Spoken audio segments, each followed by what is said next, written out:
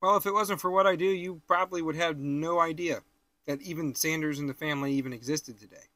For what we did, who we are, what we do, you know, you want to know any of it. Eight years ago, Kentucky Fried Chicken came out with ads that upset my family, and I saw how much it upset them. And as I learned more about my uncle and who he was, it upset me to see them portray him that way. But I also thank them for doing that because now I'm doing what I'm doing, I actually like KFC now. In case people are confused on that, we made up uh, a couple years ago.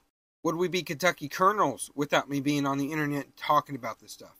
Yeah, you just want to know about it. Um, most of my family have kept to themselves after Uncle Harley died. Not many were public. Cousin Lee was the last real public person in the family in the public eye. He started Lee's famous recipe. He had a restaurant called Pop's Fried Chicken and Catfish.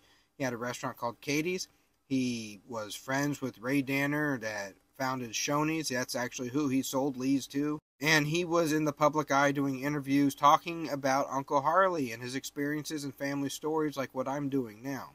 And I believe he died in 2002. After that, no one in my family has really been public. We had a few people like Joe Ledington come out and start spreading lies. And that also prompted me to get on the internet and start talking about the truth and what I knew and what I could find out. So far, I'm the only one in the family showing interest in what Uncle Harley did as a professional choice.